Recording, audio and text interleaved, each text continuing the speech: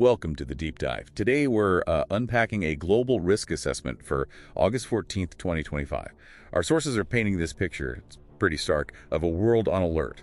We're seeing multiple crises, all interconnected, happening, right now. Exactly. It's this combination of extreme weather, you know, amplified by the climate system changes we've seen happening at the same time as uh, significant geophysical stuff, volcanoes, quakes. So our mission today is really to cut through that noise, try to make sense of this compounding risk landscape for you. Okay, let's dive in. The global heat crisis first. Europe seems to be under a uh, historic heat dome. We're talking forecasts of 40, even 44 degrees Celsius. That's what 104 to 111 Fahrenheit Mm. across France, Spain, Portugal. Yeah, really intense. And the wildfires, catastrophic is the word. Uh, 440,000 hectares burned just this year. That's double the average. Double. And infrastructure failing too, right? Roads unsafe, railway tracks actually deforming. hmm And tragically, the human cost. Hmm. Over 1,884 deaths linked just to the heat waves in Europe this year already. It's staggering. And it's not just Europe, is it? The sources point to the U.S. Southwest too. Arizona, Maricopa County specifically, seeing a really persistent heat wave. Over 400 suspected deaths there this summer alone. Right. Phoenix is, I think, on track for its hottest August ever. So multiple continents under severe heat stress. But you mentioned something interesting before, the attribution science. How does that fit in? Ah, yeah, this is fascinating. There was a recent study, it looked at that July heat wave up in Fennoscandia.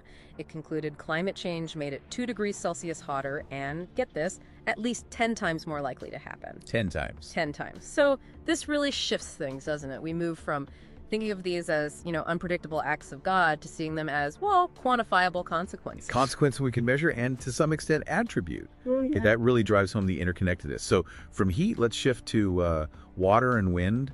Hydrometeorological hazards. The Atlantic's active. Very active. Tropical storm Erin is the main focus right now. Forecasts show it rapidly intensifying, likely a major hurricane, category 3 or stronger, maybe by Sunday. And that's fueled by unusually warm ocean waters, right? Like 84 degrees Fahrenheit. Precisely. Extremely warm. But here's the crucial thing for you listening, even if you're nowhere near the direct path. Okay. The indirect impacts, that's the widespread threat here. High confidence on this. We're talking dangerous swells, powerful coastal currents, life threatening rip currents along the entire U.S. East Coast. The whole coast. Yeah. Regardless of where Erin actually goes. Yep. From roughly August 21st to the 27th, it's an often underestimated risk, but it affects way more people than just the landfall zone. That indirect impact point is huge. It really Mm. shows the ripple effect. Mhm. And it's not just Erin. Other things are happening. No, definitely not just Erin. We're seeing severe convective storms, you know, hail, wind damage across the U.S. plains, plus locally heavy rain, uh, posing flood risks near Philly, for example. And overseas, South Korea's had deadly rains, over a thousand evacuations. Wow. Okay, so heat, storms, and the Earth itself is active too. Geophysical unrest. Exactly.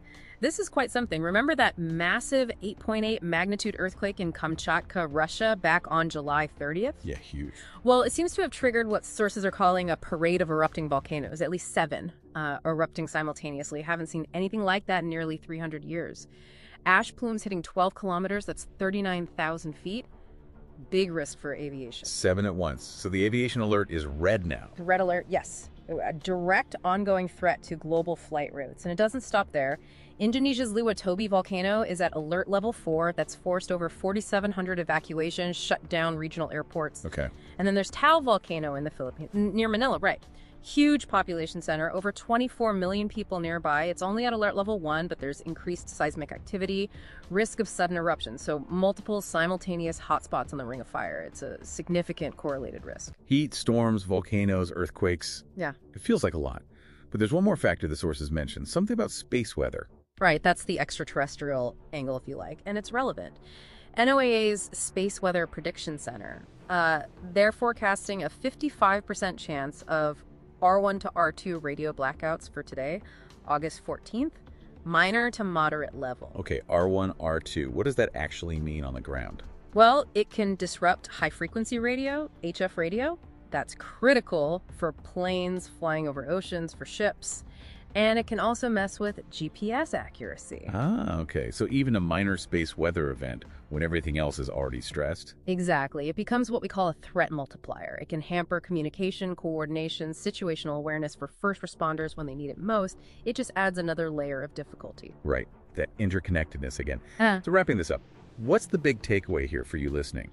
The sources seem to be emphasizing this idea of an era of compounding crises. These aren't just separate bad events. not at all. They're deeply linked. The whole picture is, frankly, far more dangerous than just looking at each piece separately. And it prompts a really important question, I think. Which- When events that used to be considered, you know, statistically impossible before climate change, when they're now 10 times more likely because of it, what does that really mean for how we need to fundamentally rethink things? Preparedness, adaptation, even accountability on a global scale. Mm.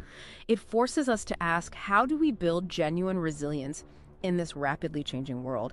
It's not just about getting through the next crisis, but strategically preparing for this new reality. A sobering thought to end on. Thinking beyond survival to actual resilience. Thanks for breaking that down. That's